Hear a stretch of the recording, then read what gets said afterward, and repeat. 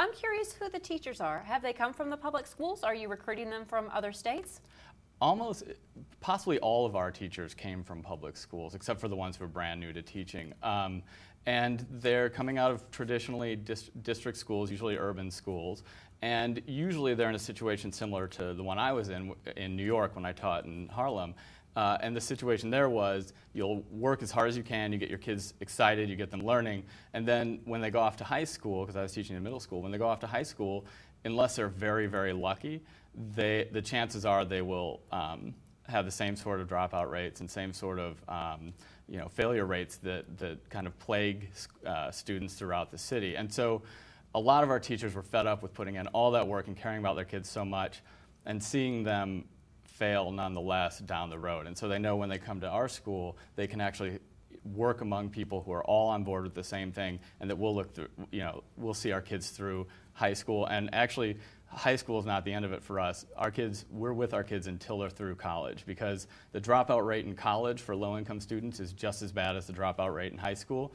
And in KIPP, we have a saying, to and through college. And everything for us, when we talk to our kids, it's not getting to college, it's going to and through even under the best circumstances, they say a lot of times it's one in three people will make it from their freshman year to walking across that yeah. stage and taking their diploma. Yeah, the national average for for um, students throughout the country is 32 percent, yeah, right? 32, so okay. I mean, and that's that's not low income students, that's, that's all students, and that's that's a bad sign for America.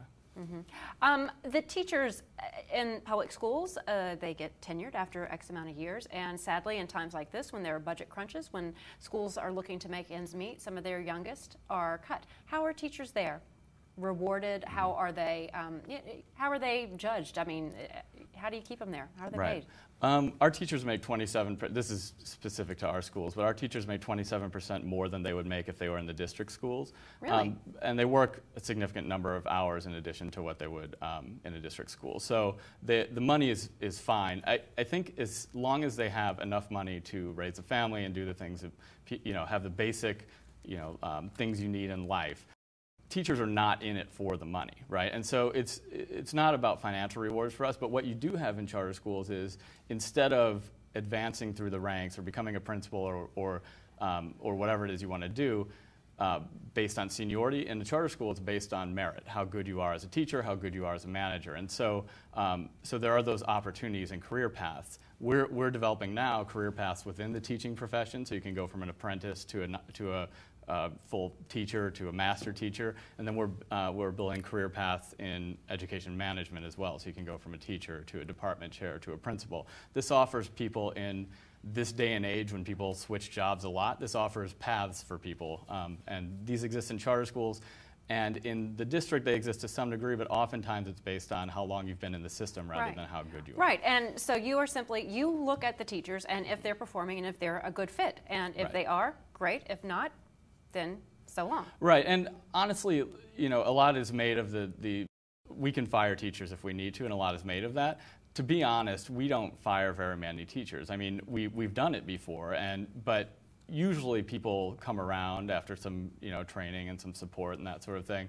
The majority of teachers who are failing are failing because of lack of support, um, and that's true in any kind of school. There are some folks who are just not cut out for teaching, and they're usually very good people, but they just don't have what, what it takes to be a teacher. And teaching in an urban environment in particular is a very, very, very difficult job, and so it, it takes a special kind of person. It is difficult, but a lot of times it's glamorized by Hollywood, and people think, well, I can be the person who stands up right. to a lot of these, you know, children who come from very different, very tough situations, and right. I can be the hero. But that right. I mean, what what you learn is that. Um, what happens in two hours in a movie takes yeah. more like you know 10 years to actually accomplish but um, but it can be accomplished and one of the great heroes of education passed away recently Jaime Escalante and I've actually had the good fortune to meet him and everything that happened in that movie about Jaime Escalante was 100% true it didn't happen in two hours right. again but over the course of his career he learned how to get kids and very quickly bring them up to speed uh, to where they need to be and even beyond where most kids were.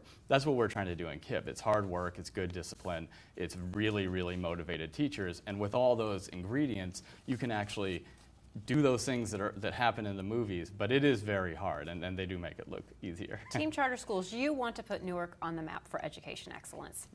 Yeah, well, I think Newark is on the map a little bit for educational excellence because we have an unbelievably vibrant charter sector right now. I would say probably more good charter schools than any other city in the country. Not more charter schools, but more high quality charter schools than any other major city in the country. Why do you think and that it's is? growing. Um, it's a good question. I think there's a tremendous hunger in the city of Newark for educational uh, opportunities.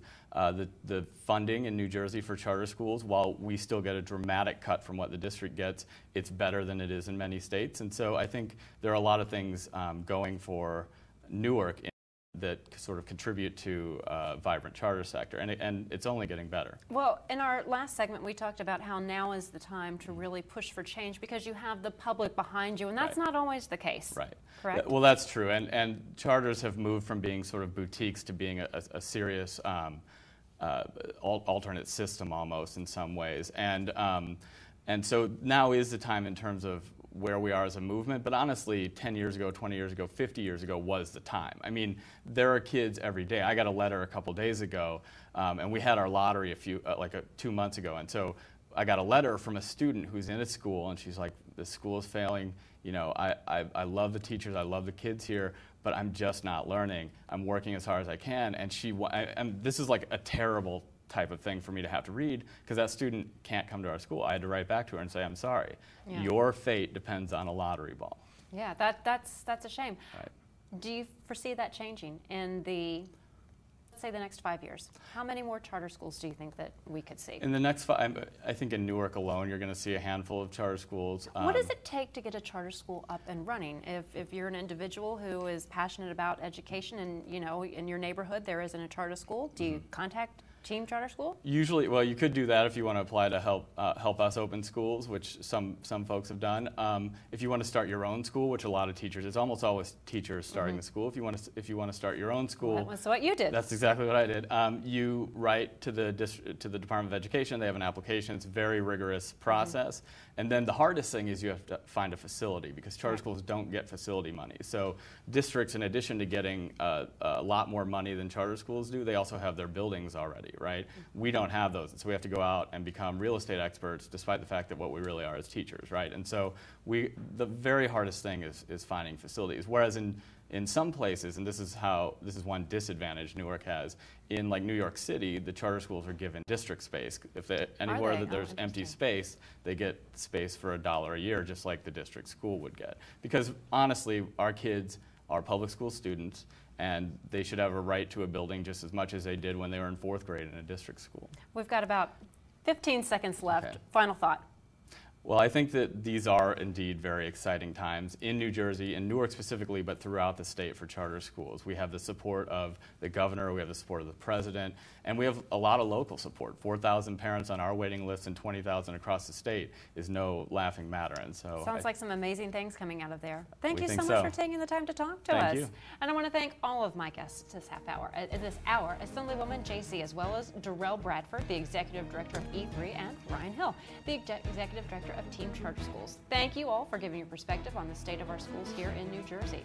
The battle in Trenton over school choice, school budgets, and how the next generation of students is educated, clearly just the beginning. We'll be watching it all unfold. For everyone here at We've Got Issues, I'm Laura Jones.